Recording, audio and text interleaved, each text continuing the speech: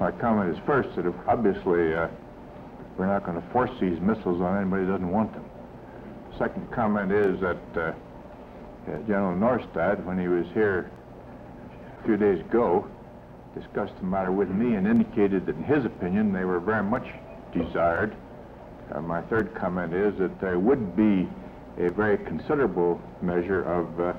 Allied participation uh, in the uh, handling of these uh, missiles.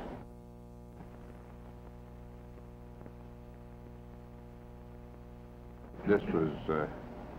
one of these cases where there was no solution which would be entirely satisfactory to everyone. Uh, the United Kingdom and the United States took the course which they felt was the uh, right course,